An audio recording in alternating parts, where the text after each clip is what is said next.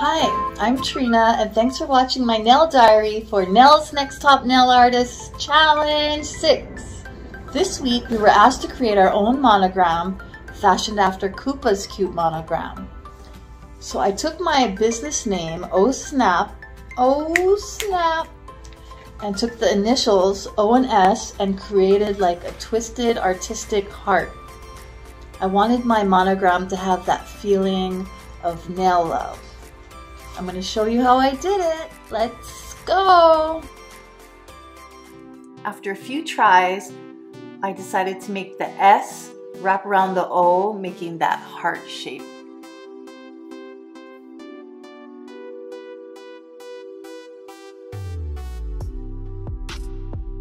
In figuring out the shape, I decided on a stiletto wire extension set of press-ons with acrylic overlay. The wire extensions are in the shape of the monogram. For the thin coat of overlay, I used KUPA's Structure Acrylic and their 3D Nail Art Monomer. That monomer is perfect if you love your acrylic to set quickly, like I do.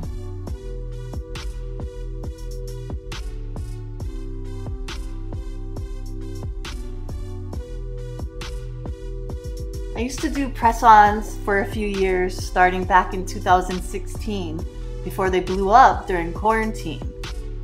Having an acrylic overlay on the press-ons are like having the real deal extensions.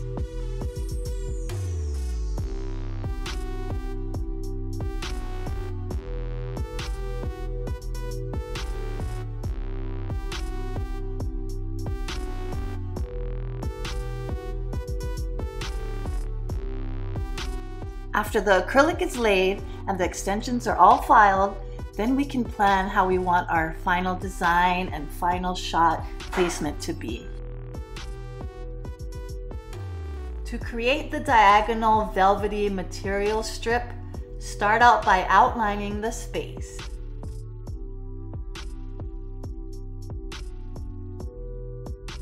Add any color background you want. I chose a glittery red.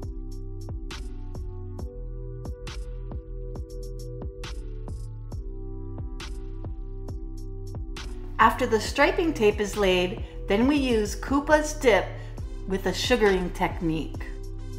Although the sugaring technique is not the traditional way to use the dip, it worked out perfectly because the powder is so fine and it really pops, looking like true material.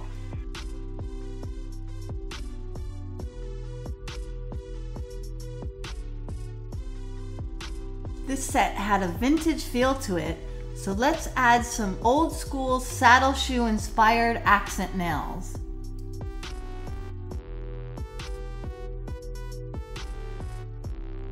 I love doing the Widow's Peak. KUPA's signature colors, red, white, and black, are the inspo behind our color scheme this week. I love how KUPA has a LED adhesive. It's easy to clean as the dip lightly stays in place and because of its lower viscosity, you can get more detailed art with it.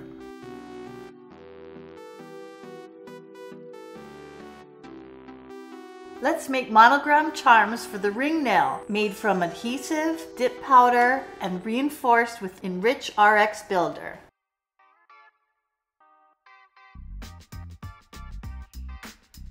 You can add some pearls to further accentuate the vintage vibe. For teeny tiny monogram print, I used a fine point Sharpie, then reinforced with gel paint. You can't remove Sharpie, so you have to be very careful. To top off the monogram set, let's make a charm bracelet. This is Monogram Madness. Use Enrich RX Builder and the glitter of your choice to make durable charms. Layer it in three or four layers on both sides for best durability. The last step in this set is to link the charms together.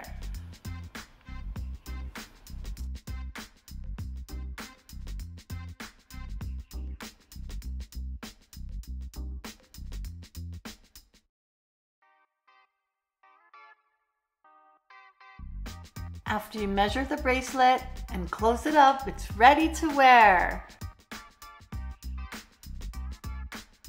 Thank you so much for watching. Aloha.